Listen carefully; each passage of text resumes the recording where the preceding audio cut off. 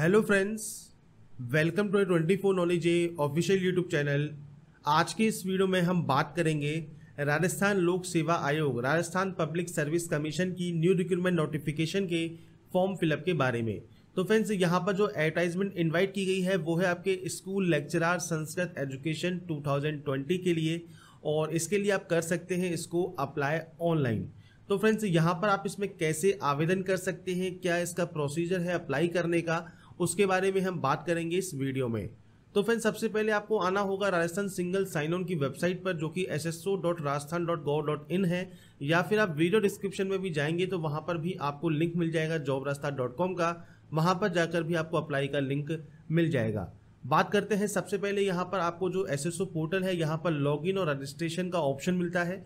Registration करना बहुत simple है। हमने कई वीडियो में पहले बात कर चुके हैं इसके बारे में तो यहाँ पर सिटीजन पर जाकर आप Jan Aadhaar card, Bhamashah card, Facebook या फिर गूगल, जो जीमेल आईडी होती है, उसके थ्रू रजिस्ट्रेशन कर सकते हैं। एक पासवर्ड आप जनरेट करेंगे, एक जो एस एस है, वो आप जनरेट करेंगे और आपका जो लॉगिन आईडी और पासवर्ड है, वो आपको मिल जाएगा। और उसके बाद फ्रेंड्स, आप दिए गए लॉगिन सेक्शन से लॉगिन कर सकते हैं। इसके लिए फ्रेंड्स, आपको यहाँ पर जो आपकी एस एस आईडी या यूज़र नेम जो आप क्रिएट करेंगे आप जो पासवर्ड बनाएँगे और जो एक कैप्चा कोड है, ये डालकर आप यहाँ से कर लेंगे इसमें लॉगिन लॉगिन करने के बाद फ्रेंड्स आपके सामने कुछ इस तरह का जो डैशबोर्ड है, ये ओपन होता है। अगर मान लीजिए आपके डैशबोर्ड पर यहाँ पर आपको ये ऑप्शंस या आइकन्स नहीं दिखते हैं तो आपको अदर एप्स का ऑप्शन मिलेगा। आप यहाँ पर क्लिक कर देंगे, सारे जो ऑप्शंस है वो आपके सामने आ जाएँगे। अब यहाँ पर फ्रेंड्स इस फॉर्म को फिल करने के लिए जो आइकन आपको सर्च करना है, वो है आपका रिक्रूटमेंट पोर्टल तो आप इस दिए गए रिक्रूटमेंट पोर्टल पर क्लिक करेंगे। अब दो पोर्टल है यहाँ पर रिक्रूटमेंट पोर्टल है रिक्रूटमेंट स्टैक टू तो स्टैक टू पर फ्रेंड्स या ज़्यादातर पुलिस की वैकेंसीज के ही फॉर्म फिल होते हैं तो आपको यहाँ पर अभी क्लिक करना है रिक्रूटमेंट पोर्टल पर। इस पर क्लिक करने के बाद आपके सामने यहाँ पर जो आपका डैशबोर्ड है, जो कि स्टेट रिक्रूटमेंट पोर्टल है, ये आपका ओपन हो जाएगा। अगर आप यहाँ पर राजस्थान के कैंडिडेट हैं या फिर अदर स्टेट कैंडिडेट हैं तो कोई भी दिक्कत नहीं है, आप रजिस्ट्रेशन करके इस पोर्टल की जो सुविधा है, वो फ्री में उठा सकते हैं। इसके बाद यहाँ पर ऑन गोइंग रिक्रूटमेंट और माई एप्लीकेशन दो सेक्शन आपको मिलेंगे। माई एप्लीकेशन में वो फ्रेंड्स आएँगी डिटेल्स जो आप अप्लाई कर चुके हैं। इसके बाद ऑन गोइंग में वो आएँगी जिनमें फ्रेंड्स यहाँ पर वैकेंसी चालू है। जैसे यहाँ पर फिजियोथेरेपिस्ट की वैकेंसी है इंस्पेक्टर फैक्ट्री एंड बॉयलर्स की वैकेंसी है school lecturer Sanskrit education 2020 RPSC की वैकेंसी है। तो इस वीडियो में हम बात कर रहे हैं स्कूल लेक्चरर पोस्ट के लिए। तो अप्लाई नाउ का जो लिंक है, वो आपको यहीं पर दिया गया है। आप इस पर क्लिक करेंगे। अब आपसे यहाँ पर एक पूछता है कि फैच डाटा तो आपकी जो भी डाटा है या फिर आपका जो भी यहाँ पर आपने अपना प्रोफ़ाइल अपडेट किया है तो आप यहाँ से डाटा अपनी ले सकते हैं। बाकी आप नो करके भी मैनुअल एंट्री कर देंगे। इसके बाद यहाँ पर आपको सब्जेक्ट देखिए लिस्ट देखने को मिल जाएगी। आप जिस भी सब्जेक्ट में इसको अप्लाई करना चाहते हैं, उस सब्जेक्ट पर आप क्लिक करेंगे और आपका जो ये फॉर्म है, वो स्टार्ट हो जाएगा। सबसे पहले फ्रेंड्स यहाँ पर बेसिक जानकारी आपको फिल करनी होगी, जैसे आपका नाम। तो आपका जो भी नाम है, वो आप यहाँ फिल करेंगे। आपका जो फादर नेम है, वो आप यहाँ फिल करेंगे। इसके बाद आपका जो मदर नेम है, वो आप यहाँ फिल करेंगे। आपका जेंडर आप सेलेक्ट कर सकते हैं। आपकी बी इस कैलेंडर पर आप क्लिक करेंगे। यहाँ से आपकी जो जो भी डी ओ डीओबी है, वो आप सेलेक्ट कर सकते हैं। इसके बाद फ्रेंड्स आपका जो भी एज क्राइटेरिया है, एक जुलाई 2020 को ये काउंट होकर आपका यहाँ पर आ जाएगा। आपकी जो भी कैटेगरी है, जनरल है ओबीसी है एससी एसटी आप कोई भी सेलेक्ट कर सकते हैं। अदर स्टेट कैंडिडेट सिर्फ़ जनरल से ही फॉर्म को फिल करते हैं तो वो सिर्फ़ जनरल ही यहाँ पर सेलेक्ट कर लेंगे। जनरल में फ्रेंड्स एक ऑप्शन आपका और आएगा यहाँ पर, जो है ईडब्ल्यू का। यदि आप ईडब्ल्यू में आते हैं तो यस कीजिए, नहीं तो आप इसमें नो कर सकते हैं। इसके बाद है specially abled category PH candidate के लिए। यदि फ्रेंड्स आप इनमें से दिए गए किसी भी कैटेगरी में आते हैं, ठीक है, नहीं तो आप नॉट एप्लीकेबल भी कर सकते हैं। मान लीजिए आप कोई भी यहाँ पर एक ऑप्शन आप सेलेक्ट कर लेते हैं, इसके बाद यहाँ पर आपकी जो स्पेशली एबल्ड कैटेगरी है, वो आपकी यहाँ ओपन हो जाएगी मतलब सब कैटेगरी वो आप यहाँ सेलेक्ट कर सकते हैं। कुछ कैटेगरीज में आपकी स्क्राइब की सुविधा भी आपसे पूछी जाएगी कि आपको स्क्राइब चाहिए, नहीं चाहिए। अगर चाहिए तो यस या नो आप कर सकते हैं। और अगर आप स्क्राइब चाहिए तो आप स्वयं लेके आएँगे या डिपार्टमेंट से कहेंगे कि स्क्राइब का वो सुविधा है, वो आपको दें। तो वो अपने अकॉर्डिंग आप यहाँ पर सेलेक्ट कर सकते हैं। नॉट एप्लीकेबल के लिए फ्रेंड्स से सारे ऑप्शन आपके ऑटोमेटिक बंद रहेंगे। आपका जो रिलीजन है, वो आप यहाँ लिस्ट दी गई है, इसमें से सेलेक्ट कर सकते हैं। आपका मैरिटल स्टेटस मैरिड है सिंगल है, अपने अकॉर्डिंग जो भी है, वो आप सेलेक्ट कर लेंगे। मैरिड कैंडिडेट के लिए यहाँ पर एक ऑप्शन है, वो है आपके यहाँ पर जीवित बच्चों की संख्या। अब यहाँ पर एक छः 2002 से पहले और बाद में पैदा हुए बच्चों की संख्या देनी है। तो ये बॉर्न बिफोर है, ये बॉर्न आफ्टर है। मान लीजिए पहले आपके कोई भी बच्चा नहीं है, पर बाद में एक बच्चा है तो आप यहाँ पर एक की एंट्री कर देंगे। अगर पहले भी एक है और बाद में भी एक है तो आप यहाँ पर इस तरह से करेंगे, दो की एंट्री हो जाएगी। तो ये फ्रेंड्स तभी आप एंटर करें अगर आप यहाँ पर मैरिड कैंडिडेट हैं, बाकी सिंगल कैंडिडेट यहाँ पर ज़ीरो ज़ीरो रहने देंगे। तो यहाँ पर फ्रेंड्स ये फिल करने के बाद आपको यहाँ मिलता है आपके मोबाइल नंबर का ऑप्शन तो आपका जो भी मोबाइल नंबर है आपके टेन डिजिट है, वो आप यहाँ दे सकते हैं। आपकी mail ID Aadhaar card passport number Bhamashah ID जो भी अवेलेबल है, वो आप दे दीजिए। बाकी जो रेड स्टार वाला ऑप्शन है, वो आपको फिल करना ज़रूरी रहेगा। इसके बाद है अप्लाइंग फोर किसके लिए अप्लाई कर रहे हैं? किस डिस्ट्रिक्ट के लिए अप्लाई कर रहे हैं? आपका जो परीक्षा जिला है, वो कौन सा लेना चाहते हैं? तो आप वो सेलेक्ट कर सकते हैं। अगर आप शेड्यूल एरिया से आते हैं तो आप यस कर सकते हैं, नहीं तो नो करेंगे, जो कि टीएसपी एरियाज़ होते हैं। अगर टीएसपी एरिया नहीं पता है, आप डिस्क्रिप्शन में या फिर आप जो गूगल है, उस पर जाएँगे और वहाँ पर सर्च कर सकते हैं, राजस्थान टीएसपी एरिया उसकी लिस्ट आपको मिल जाएगी। आपका एड्रेस क्या है? कॉरेस्पॉन्डेंस एड्रेस क्या है? तो आपका पूरा एड्रेस आप यहाँ पर लिखेंगे। पहली लाइन यहाँ मैंडेटरी है। इसके बाद आपका जो स्टेट है, वो आप स्टेट यहाँ फिल करेंगे, आपका डिस्ट्रिक्ट फिल करेंगे। आपका जो सिटी या विलेज है, वो आप यहाँ फिल करेंगे, आपका पिन कोड फिल करेंगे और आपका फ़ोन नंबर भी आप दे सकते हैं और साथ में नीरेस्ट पुलिस स्टेशन जो भी लगता है आपका एरिया का पुलिस स्टेशन थाना जो लगता है, वो आप यहाँ दे सकते हैं और इसके बाद यहाँ से इसको नेस्ट कर सकते हैं। इसके बाद आप पहुँच जाएँगे सेकंड ऑप्शन पर जो कि है पर्सनल डिटेल का। तो सबसे पहले नेशनलिटी सेलेक्ट कर लीजिए। आपका गृह जिला कौन सा है? मतलब आप कहाँ के निवासी हैं? आपका गृह जिला कौन सा है? आपका गृह ब्लॉक कौन सा है? ब्लॉक अगर लगता है तो ठीक है, नहीं तो इसको ब्लैंक छोड़े। इसके बाद फ्रेंड्स यहाँ पर आप सेलेक्ट करेंगे आपकी तहसील। इसके बाद विलेज अगर लगता है तो विलेज सेलेक्ट कीजिए। आप किस देश से स्थापित हैं? अगर हैं तो यस कर सकते हैं और किस देश से विस्थापित है? इंडिया में वो आप सेलेक्ट कर सकते हैं, नहीं तो आप इसमें नो कर देंगे।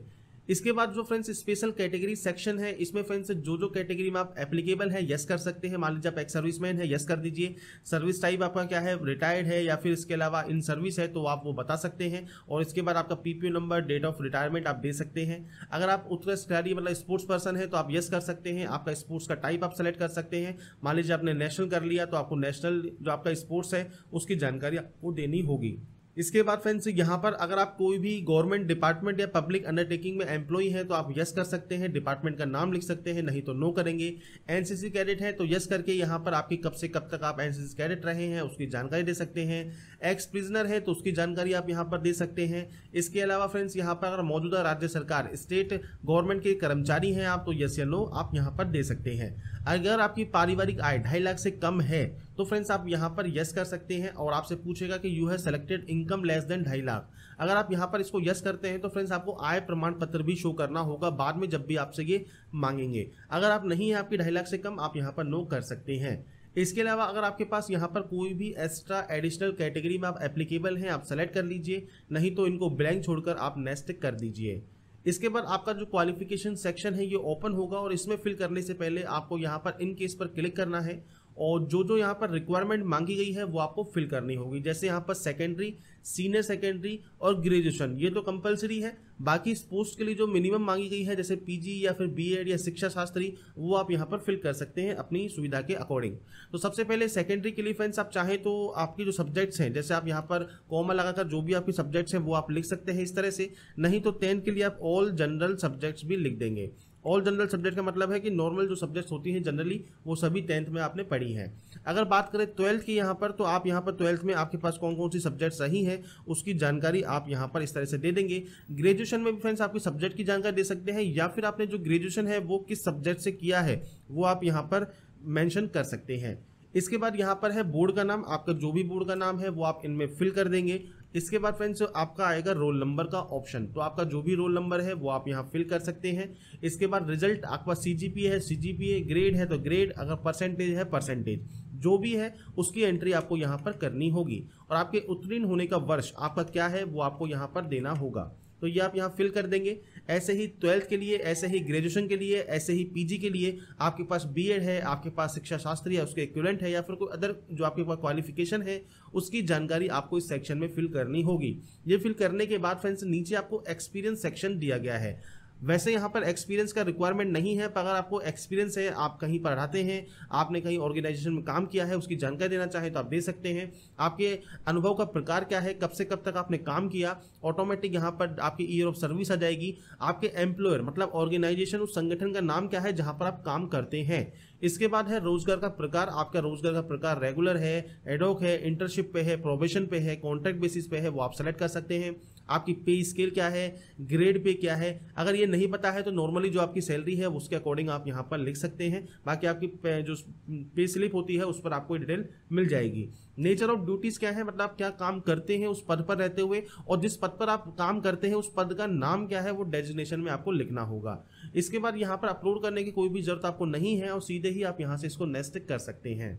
इसके बाद फ्रेंड्स जो नेक्स्ट ऑप्शन है, ये है आपके एप्लीकेशन फॉर्म में फ्रेंड्स यहाँ पर जो आपकी बेसिक जानकारी है, जैसे आपका फोटोग्राफ हो गया, आपका सिग्नेचर हो गया, ये आपको अपलोड करना है और जेपीजी फॉर्मेट में अपलोड करेंगे 50 से 100 के बी का साइज़ आपके फ़ोटो का रहेगा 10 से 50 के बी का साइज़ आपके सिग्नेचर का रहेगा। बॉडी मार्क में फ्रेंड्स अगर कोई भी विजिबल बॉडी मार्क आपके है, कोई भी निशान है, कट का, बर्न का तो वो फ्रेंड्स आपके कोई मोल है या फिर कोई तिल है तो आप उसकी जानकारी दे सकते हैं। विजिबल है अगर चेहरे, हाथ, पैर पर तो आप दे दीजिए। नहीं है या फिर आप नहीं देना चाहते हैं अभी तो आप नो मार्क भी कर सकते हैं। तो फ्रेंड्स, यहाँ पर फ़ोटो एंड सिग्नेचर अपलोड करने के बाद उसका जो प्रीव्यू है, वो आपको यहाँ देखने को मिल जाता है और इसके बाद आप यहाँ से इसको नेस्टिक कर सकते हैं। इसके बाद फ्रेंड जो नेक्स्ट ऑप्शन है, इसमें फ्रेंड्स सबसे इंपॉर्टेंट जो पॉइंट है, वो है आपके एप्लीकेशन प्रिव्यू का। ये ऑप्शन बहुत इंपॉर्टेंट है, क्योंकि आपने कोई भी अगर गलती की है, आप सही कर सकते हैं।